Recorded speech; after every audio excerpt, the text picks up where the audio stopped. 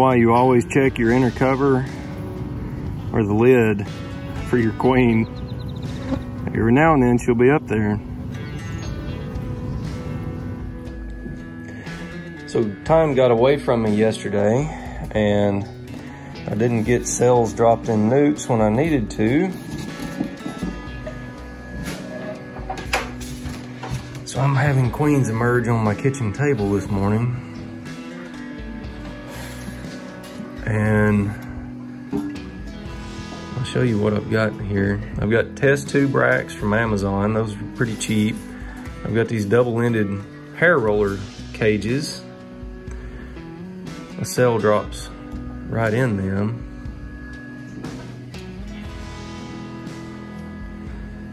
And if you have timing conflicts, makes it pretty handy because these plugs go in here and I can put a candy plug in there or just direct release them after I introduce. So having them emerge into these just keeps them from killing each other until I can do something with them. Pretty handy.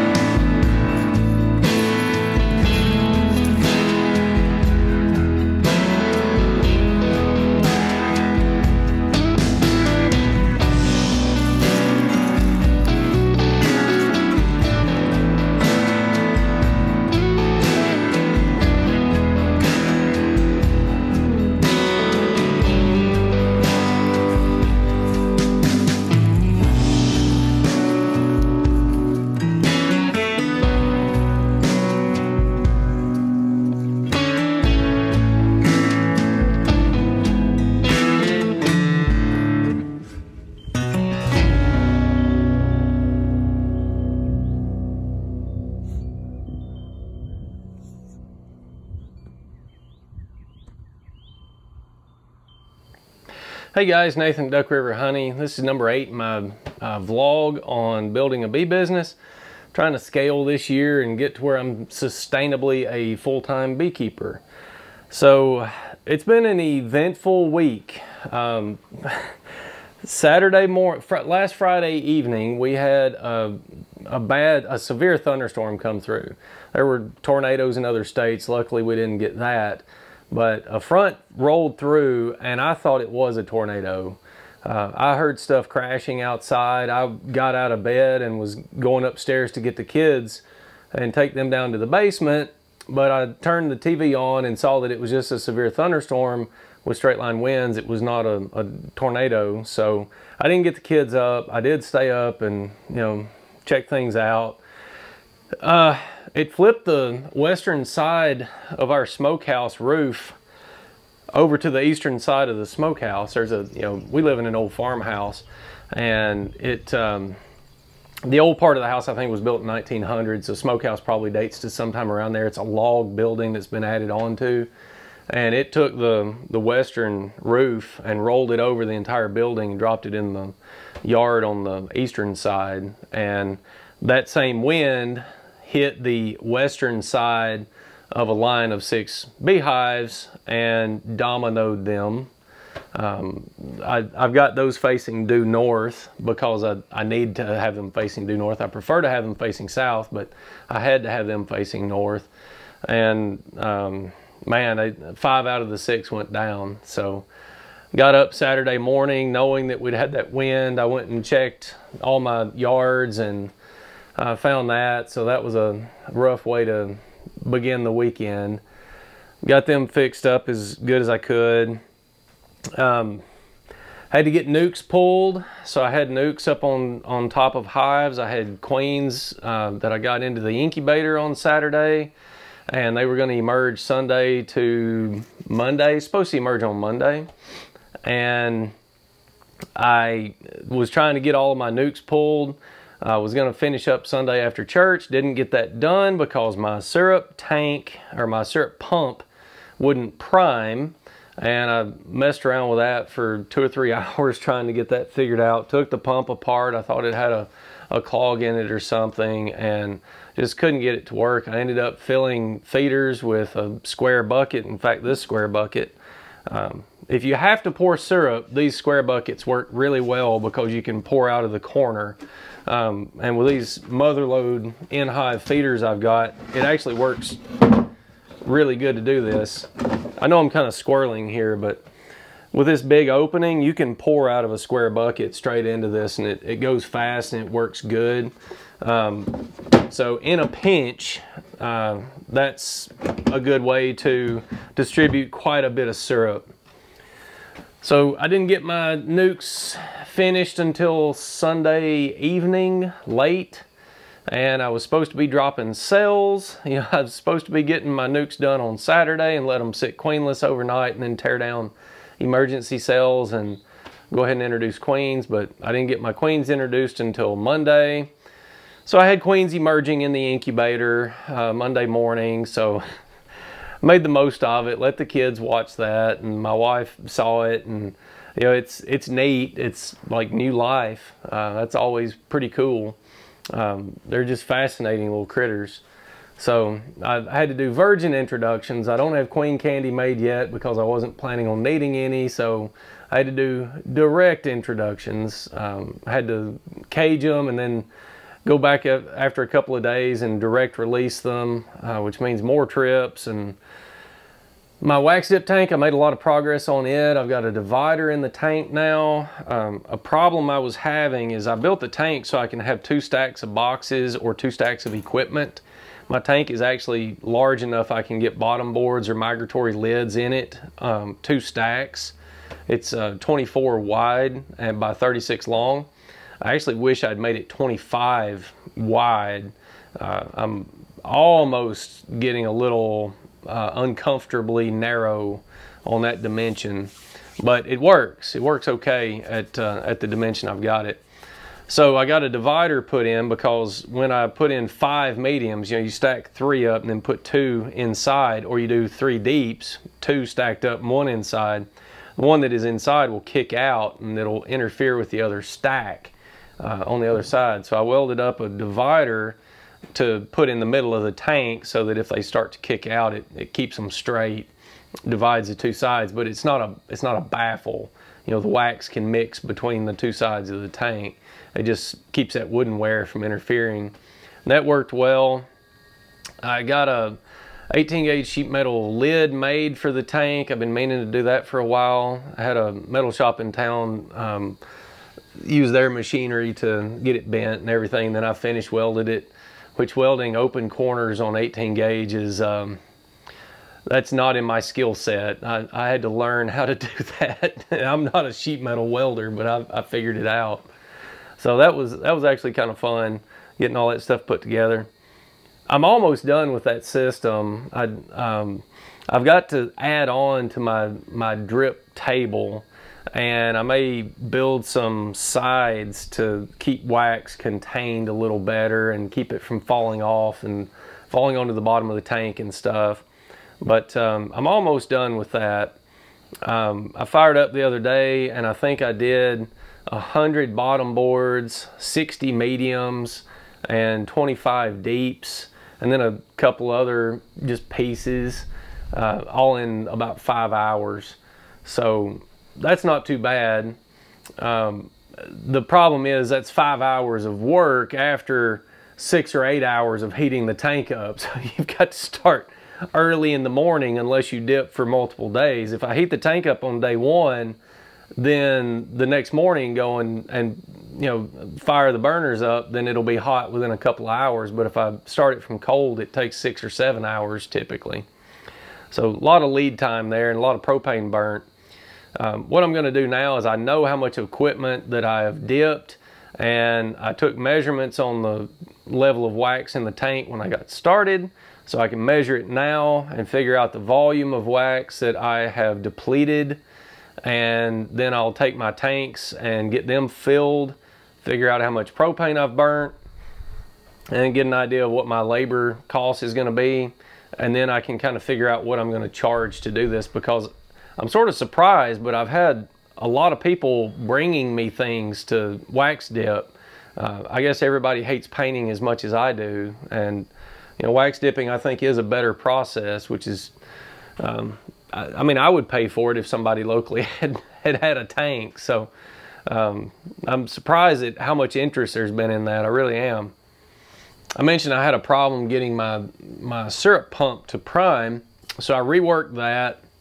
I was using a one inch PVC pickup tube and uh, for whatever reason that wasn't wanting to prime. It had always worked before, but it didn't want to work that day when I needed it really bad to work. So I put a through wall bulkhead fitting in the bottom of a 55 gallon drum and it extends into the drum far enough that I can screen it with eighth inch uh, mesh hardware cloth to keep bees or you know debris or anything from getting into the pump. And then on the outside, it's a, a three quarter MPT, so I just put a ball valve and a couple fittings that uh, change that over to GHT thread and hook a garden hose to that, and that'll be my intake for my pump and since it's come feeding from the bottom of the tank, I've got head pressure that will make sure that my pump primes automatically as soon as I turn that ball valve on. Uh, I've experimented with that a lot so far and it works every time. Uh, dry pump, wet pump, doesn't matter. It works every time, which is what I need it to do because when I when I'm going out to feed bees, I don't need to have problems and have to work on things. I just need to get my work done. Uh, that's very frustrating, very frustrating when I can't get my work done because stuff that should just work doesn't. So queen rearing went well. Um, I've actually grafted, I actually grafted in my first year of beekeeping. I just wanted to cross that off the list. I knew that that was going to be a core competency that I would move into at some point. And I'll get off track here for a second.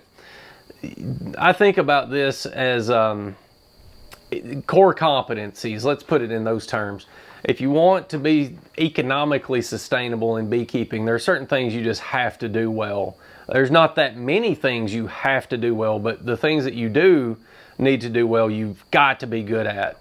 Uh, keeping bees alive and healthy, queen management, um, you know, you've got to have these core competencies. Queen rearing, I think, is like a beekeeping superpower if you have the ability to produce your own very high quality, well mated queens at will, um, man, that just opens up so many opportunities for you.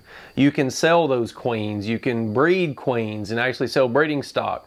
But you can also requeen all of your colonies every year if you want to. And you do it on your schedule, not some other queen producer's schedule. So you know, if it's going to rain on Thursday and you don't want to introduce queens on Thursday, then you can change your schedule so that you don't have to. There's just a, a ton of things that you can do if you can make your own queens. So that is a competency that I feel like I've got to have. But not only that, I really enjoy it. So I think I'm going to get more into queen rearing than I expected to this year. I, I think of that sort of as like a perishable skill you've it takes practice to get good at it and I want to practice it a lot this year so that I, I can get good at it. So coming up, um, work coming up, I'm gonna try to get back in the honey house. I've got some electrical to finish up and then I need to start hanging wall paneling and ceiling paneling. Um, I, I, need to put in some 240 volt outlets and I wanna put in at least one outlet on the outside of the building, a weatherproof outlet on the outside of the building. And then I'm gonna start closing in the walls and the ceiling. And um, I feel like I've gotten through my split, you know, my first split. And hives are kind of on autopilot now. You know, I don't have any immediately swarm, any immediate swarm concerns, uh, at least for the next week or 10 days. So if I can get a few days to go knock on, you know, knock out some of this workload, I'd really like to get that project finished, finished, and get my permitting done and just have that checked off the list completely so that I can focus on the million other things I've got going on. So I wanted to talk about my mating yard, my nuke setup, and my drone flooding yards. I'll show you on a map. I've got three bee yards that are all about 1.3 miles apart. And then I set my mating yard up almost in the center of all those. Um, research has shown that drones will usually, everything with bees is usually, uh, because they, they will break their own rules all the time, but usually drones will fly a quarter mile to a half mile from their parent hive and virgin queens will fly generally a mile to a mile and a half from their parent hive before they try to mate. And they do that so that virgins don't mate with their own brothers. Uh, it's to prevent inbreeding.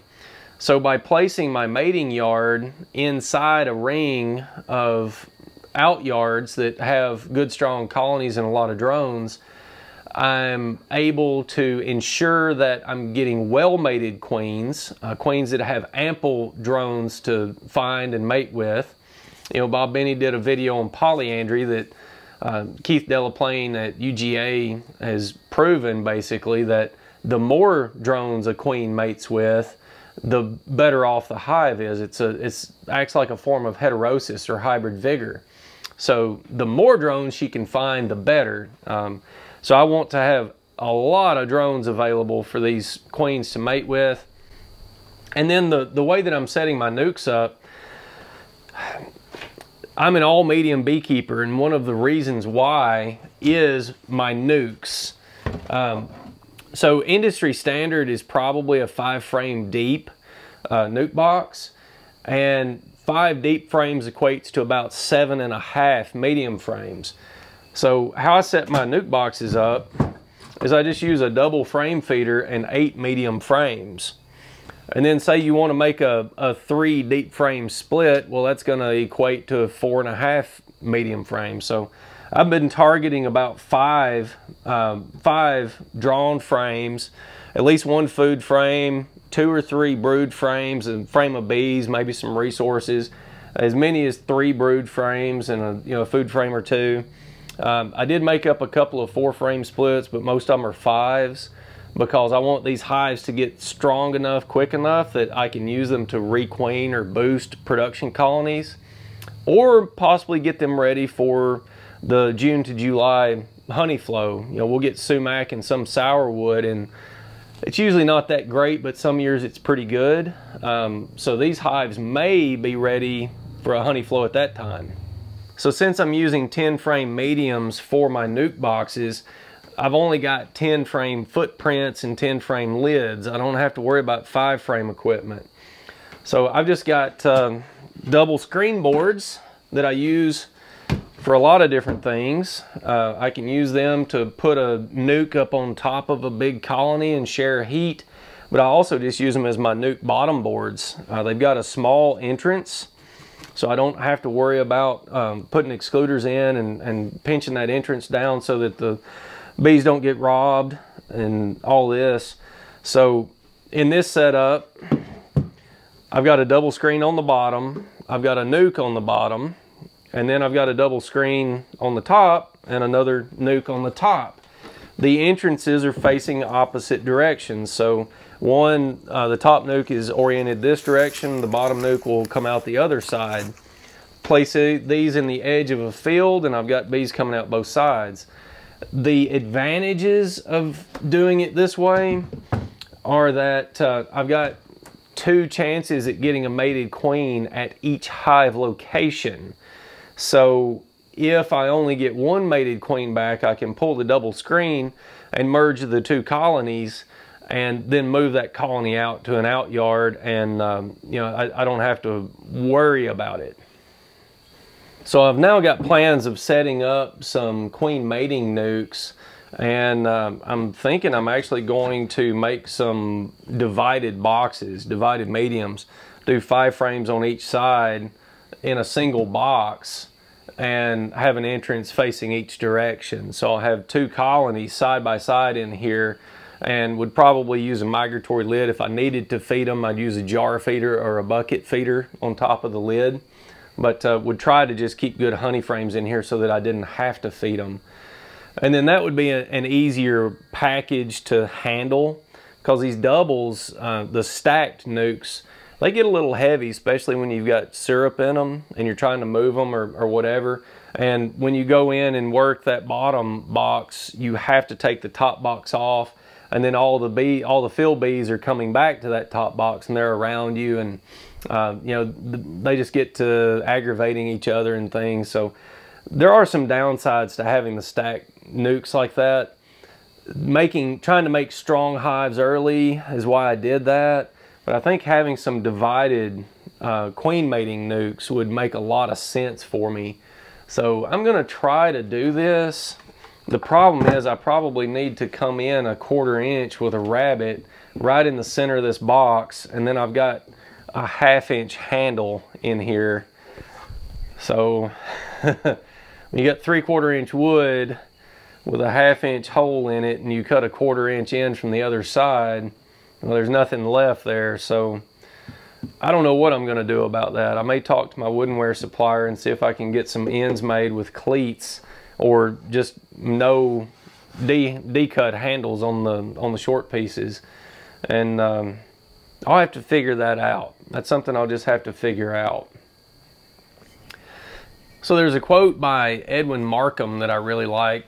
He was the, he's long dead, but he's, he was the poet laureate of Oregon. And it's a blacksmithing related quote. He says, For all your days prepare and meet them ever alike. When you are the anvil, bear. When you are the hammer, strike. And I like that because there are so many times in life where you feel like you're just being beat down. And then there are some times in life where you feel like you can do no wrong and everything's going right.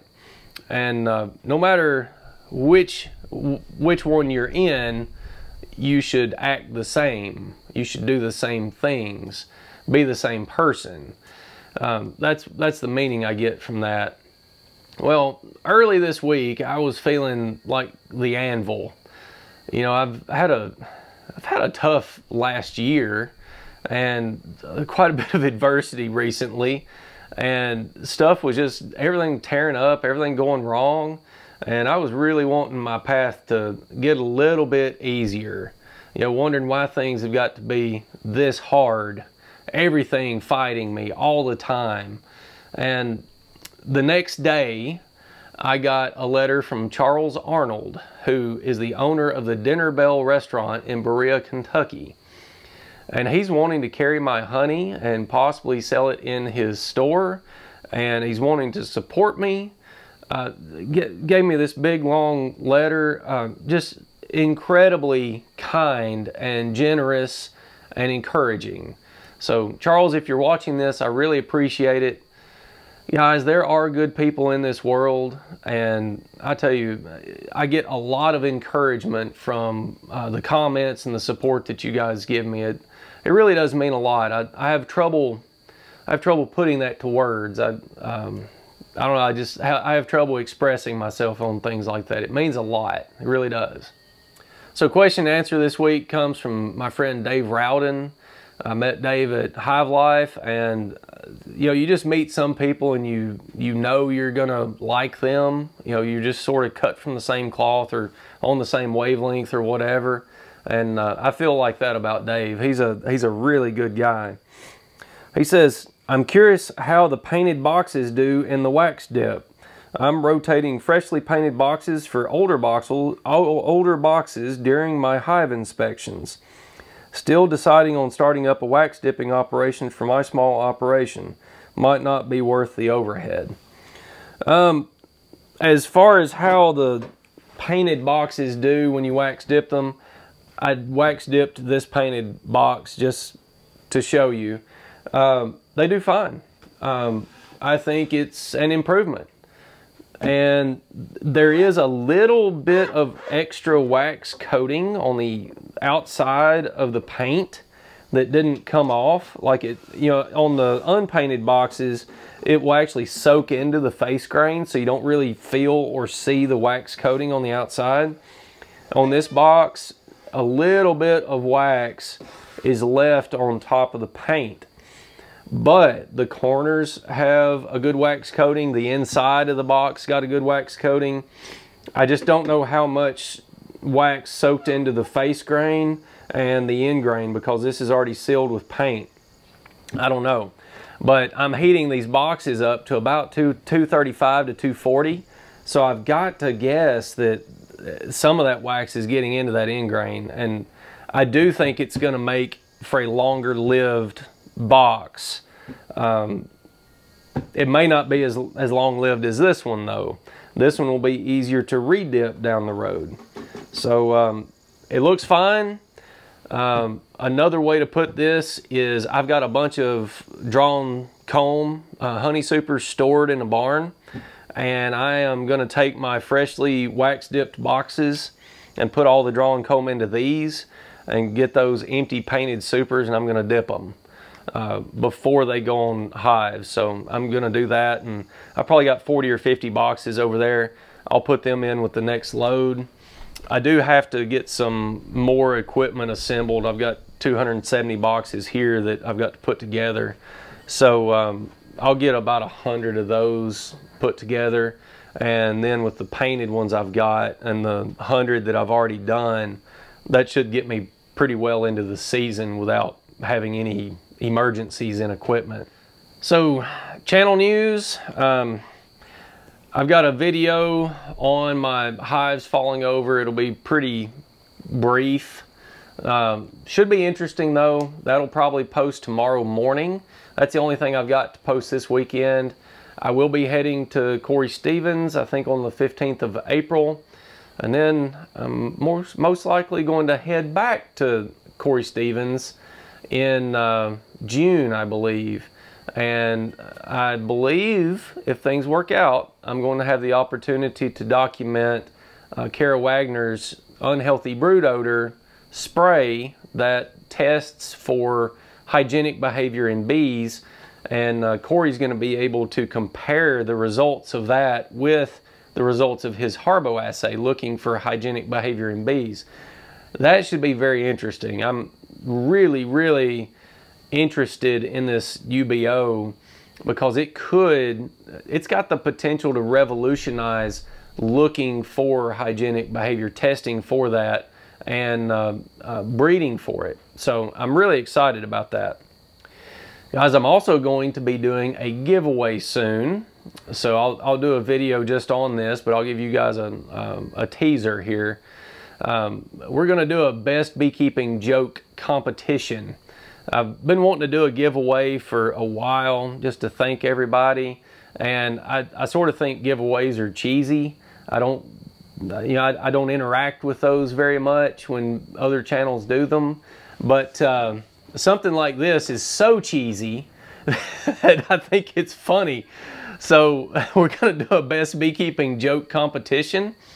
Bob Binnie sent me a smoker that he signed with uh, a paint pen uh, with color red. It's a queen marking pen for this year. That's going to be one of the prizes. I've requested some other things from some other well-known people and we'll see what we get to put together as a pool of prizes for this thing. Um, I'm probably going to have to have some of the guys at my bee club help me with it because there are you know, there are things that everybody is good at and everybody is bad at. I've got strengths and weaknesses. Uh, one of my weaknesses is I, I couldn't carry a tune in a five gallon bucket. I sing in church, but I'm terrible at it. I also have no sense of comedic timing. I am not funny. I'm just not. And uh, so I'm not the person to tell jokes. So I've got to figure out how to do this so that we can tell jokes and then be funny, do them credit, and have people around to judge and have a good time. So I've got to figure out how to do that. But if you've got some good beekeeping jokes, keep them to yourself for now and enter those in the competition. Guys, as always, I try to answer a question or two a week. If you've got one, drop it in the comments below. You can also send it to info at duckriverhoney.com. I'll get them, I'll try to pick out one or two and get them answered. Appreciate you watching. I'll see you on the next one. It's a mess in here. You can tell I'm in beekeeping season. I've got stuff strode everywhere. Everything's broken. Need to work on everything, and nothing is where it should be. Yep, that's beekeeping season.